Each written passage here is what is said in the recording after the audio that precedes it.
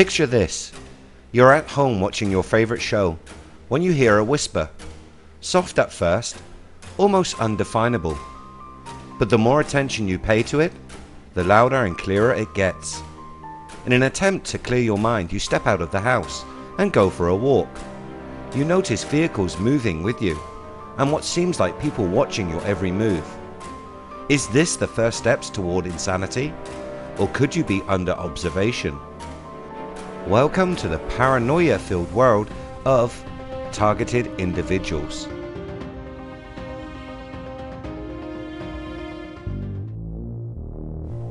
Welcome to IF, videos on mystery and history.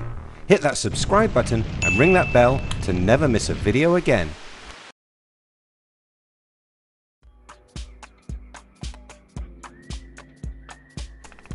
Is there a program being carried out where innocent people are being used as guinea pigs?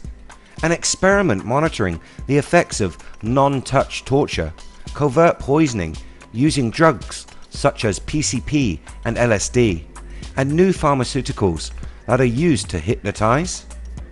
Are there secret groups stalking, harassing, sabotaging, and bullying innocent members of the public? These are the claims of those that say they have been targeted by the government or some dark hidden branch of the secret agencies. These unfortunate souls tracked each and every day of their lives. What adds to the stress of being targeted is that so many do not believe you. The victims of this persecution are often misdiagnosed as suffering from mental illness. They can be hospitalized and forced to take medications that are mind and body altering. Often they are treated for paranoia and schizophrenia when they could be the victims of a sustained campaign of personalized terror. Before you think that this is some kind of PTSD or a condition from the result of some sort of substance abuse, think back to the secret government operations of the past. MK Ultra famously drugged and used many various methods to control the thoughts and actions of people both willing and unwilling in that program.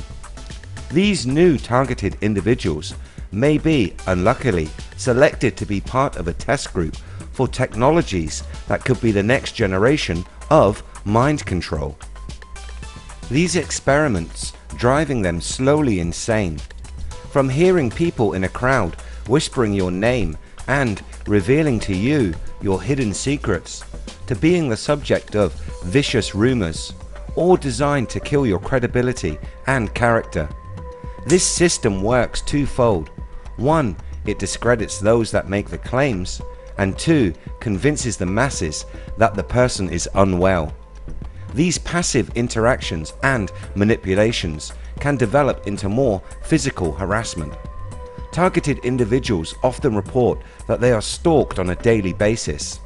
The person or persons stalking them often pushing people in directions and to a place that they never wanted to go. This is just the tip of the iceberg, as many say the harassment and constant pressure is akin to electronic rape. This electronic rape goes by the name RMN, Remote Neural Monitoring. It is said that nano machinery is sent to invade a host. This technology then begins to construct a network of biosensors, transducers, and semiconductors. They are used to monitor the subject and control their behavior.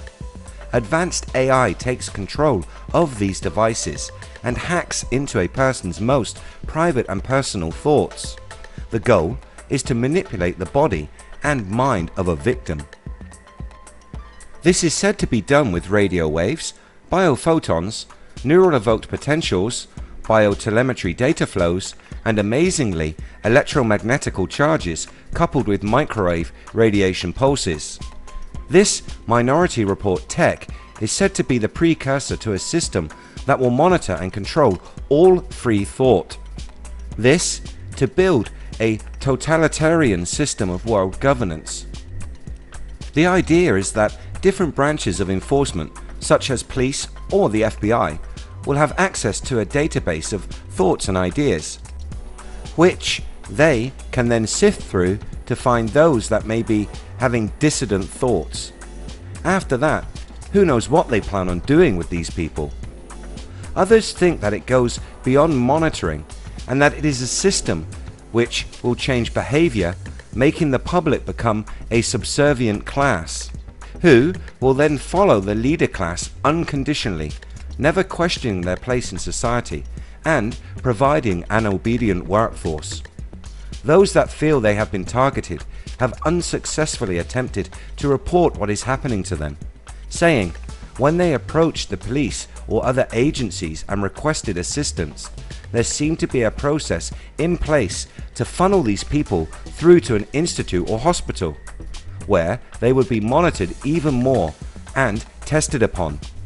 This is not an attempt to help, to improve the mind control technology and make it unperceivable to those that have been selected for the test.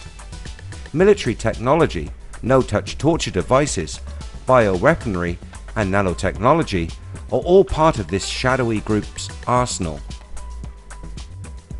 This is a global phenomenon and indicates that this group has tremendous resources, money, personal technology and connections to all aspects of society, along with many operatives and massive power.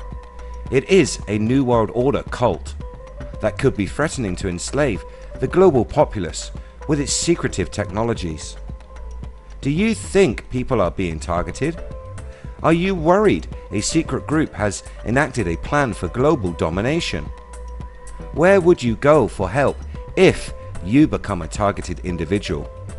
Let me know in the comments below. If you enjoy what we do here on the channel, please hit that subscribe button, like and share. You can find us across social media by searching We Are If. Thanks so much for watching. See you next time.